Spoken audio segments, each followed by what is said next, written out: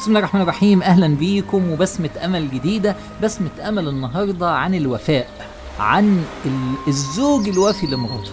الرجل الوافي وهو بيتعامل مع المرأة.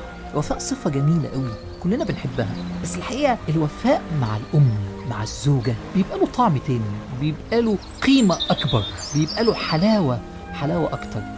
بالذات لو ال- ال- الزوجة مريضة بالذات لو الزوجة تعبانة.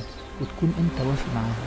حاجة كبيرة قوي حلوة قوي وعايزة نفس قوية ونفس صبورة ونفس مدركة حلاوة وقيمة الوفاء. هي القصة بتحكي إن هو آه، آه، راجل سنه في في السبعين آه، في أواخر السبعين من عمره ويعني صحته على قدها فتعور في إيده آه، يعني صباعه اتفتح فلازم غرز ولازم فجري على المستشفى وعمل ال- ال- الغرز بس لازم يزيل بقى الغرز بعديها بكام يوم ويتأكد إن الجرح سليم فراح المستشفى تاني علشان بقى يشيل الغرز ويتأكد إن الجرح بقى سليم. وكله تمام لأن الجرح في إيده يعني صعب شوية. فوصل الراجل اللي في آخر السبعين راح المستشفى الساعة 8 بالظبط.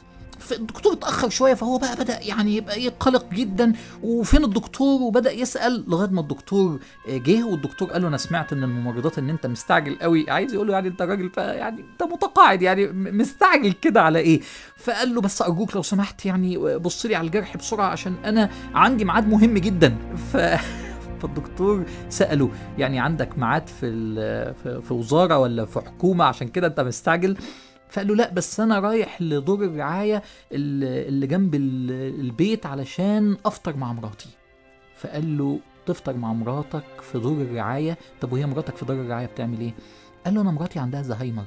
و... وعشان كده ما كانش ينفع تقعد في البيت أو حاجة زي كده لأنها ممكن تخرج في أي وقت هي قاعدة في دار الرعاية. فالدكتور قال له طب وهو يعني مراتك هتقلق قوي لو أنت اتأخرت عن الميعاد شوية؟ فرد عليه وقال له لا هي مراتي أصلا ما عادتش بتعرف أنا مين. أنا مراتي بقالها خمس سنين ما عادتش بتتعرف على حد. فالدكتور قال له طب وأنت كل يوم لسه بتروح تاخد الفطار معاها الصبح رغم إنها مش عارفة أنت مين ومستعجل دلوقتي على ميعادك؟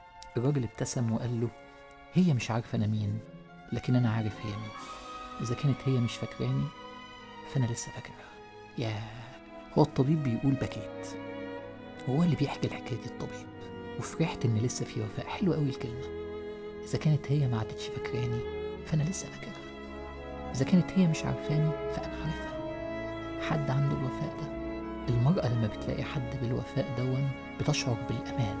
في عالم قل فيه الأمان.